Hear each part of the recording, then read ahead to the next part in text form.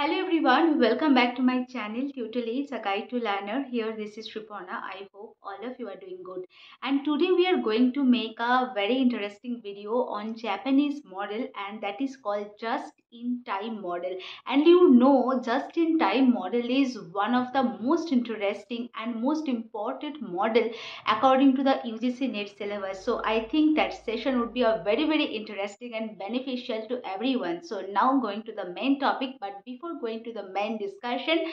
Uh, so at first uh, you have uh, some problem on it. So please uh, do some comment uh, in my comment section. I will reply you positively. And if you have missed my previous session so just go and check my first comment and my description box where my last session link is already provided. And if you like my video so please do one like share and comment and please do some support and subscribe my channel for getting more useful session. Now going to the main discussion. So uh, today we will discuss Japanese model of change that is just in time approach okay? So you all know that just in time approach is basically one of the most interesting and important topic according to the UGC NET syllabus. So that's why it is very very important and I hope that session would be a very very important and beneficial to everyone okay? So what do you mean by a just in time approach? So basically it is a, a management or inventory strategy which employed by companies to increase efficiency and decrease waste by receiving goods only as they need them for the production process. So basically it's the philosophy of manufacturing based plant uh, manufacturing uh, manufacturing companies which is based on planned elimination of waste and continuous improvement of the productivity. So just in time approach basically focuses on the elimination or decrease uh, decreasing waste materials and the continuous improvement of productivity and which implies basically increasing efficiency in the production process. I think the meaning of just in time approach and what is the basic meaning of this approach this is clear to everyone. So after second world war market share diminished. Japanese manufacturing company looked for a way to gain the most efficient use of limited resources because that time there was limited resources. So market share had already diminished that time. So that this is the basic uh, reason for introducing just in time approach okay? And you all know that just in time approach is basically one of the most important approach of all japanese model of change.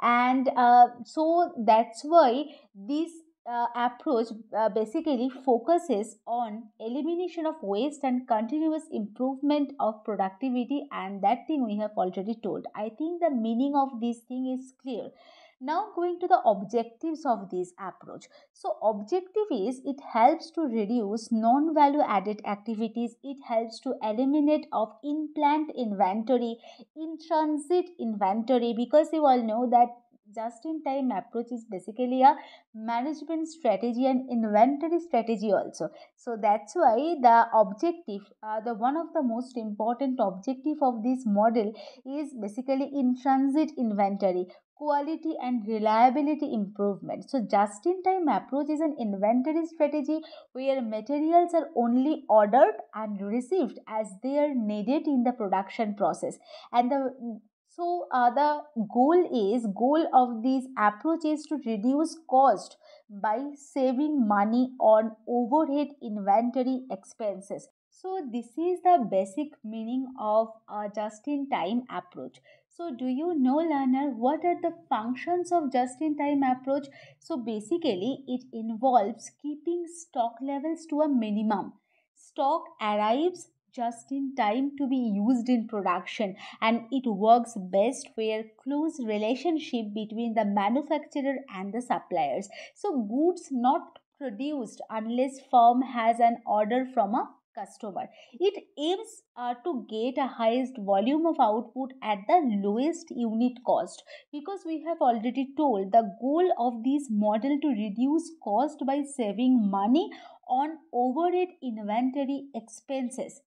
Okay so method of production is control and uh, no demand no production. So this is basically a planned consumer demand. This approach is basically implies planned consumer demand that triggers the production process that triggers the finished goods assembled just in time to be sold to customers. So components or the different parts of the uh, goods basically assembled just in time to become finished goods.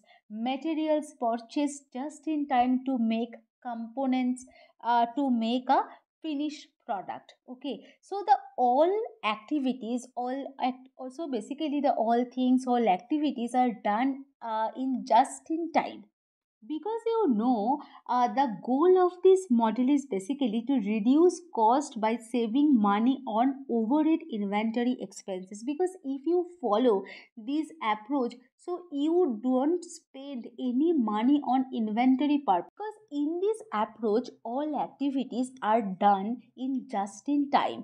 Basically it is a planned consumer demand that triggers the production. So finished good assembled just in time to be sold uh, to customer components parts assembled just in time to become a finished goods materials purchased just in time to make other components.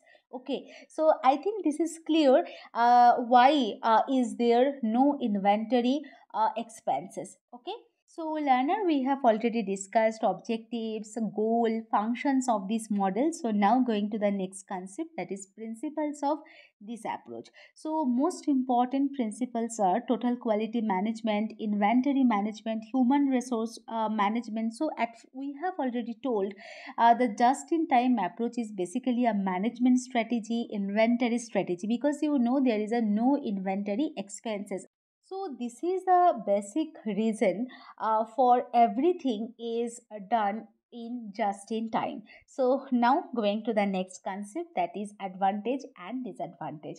So advantages are so reduction in standard hours throughout the time capital uh, is not tied up in stocks. The third one is it requires less space.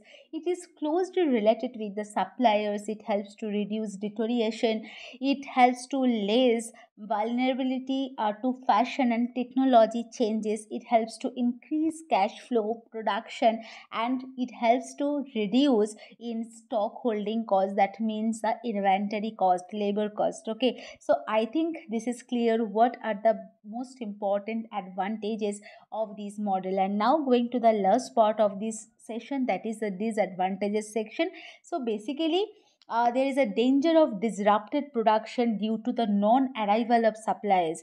Danger there is a danger of loss of loss of sales high dependence on the suppliers because you know the one of the most important advantage is it is a closely related with the suppliers. So basically uh, there is a high dependence on the suppliers. So next one is there is a less time for quality control on arrival of materials because you know every activities is are done uh, in just in time. So that's why the uh, there is a less time for quality control and which is one of the most important advantage of this model. And now going to the last disadvantage that is it may lose bulk buying discounts because you know this model basically implies no demand no production. So when you get some order then you will start your production process. And that's why producers may lose bulk buying discounts. And you know this is the very important disadvantage of this model also. So learner we are done for the today's session. I think that session would be a very very interesting and beneficial to everyone. I will come again with a new topic new session. Till then stay tuned. Happy learning. Keep commenting. Do subscribe my channel and tata bye bye good night